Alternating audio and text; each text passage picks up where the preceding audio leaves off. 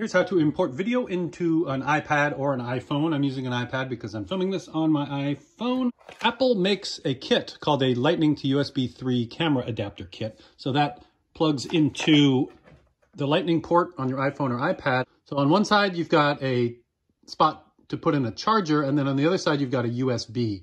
This thing requires power to work, so a lot of people will buy this and plug it into their phone or their iPad, and it'll say there's no power. So what you want to do is have a charger plugged into the wall, plugged into this, and then on the other end, um, some formats will work and some won't. The GoPro format works. Like if it's an MP4, then it'll work fine. So then you get a card reader, USB card reader. You jam your card into it. You plug the card reader into the USB port like that. Then you plug the whole thing into your iPad.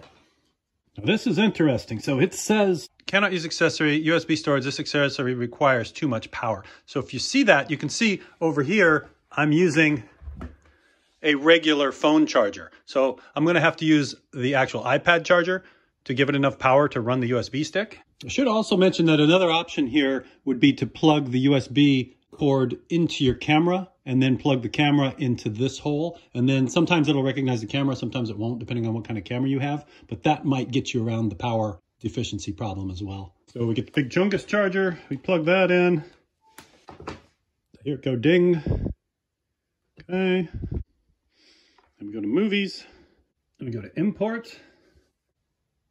Then now it's going to slowly load you up thumbnails. So if you have a ton of stuff on your card like I do, it's going to load you up everything that you've got on the card. And from here, you pick the one you want. Like let's say we want that one. And then you click the import button.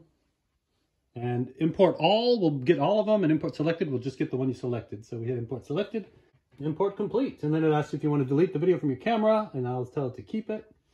And that's it. Then we can see the video on our iPad. And there's the video on the iPad. And from there, you can edit it in iMovie and add effects and, and cut it up and do whatever you want. So that's it. That's all there is to it. The biggest tricky part is getting enough power to the adapter.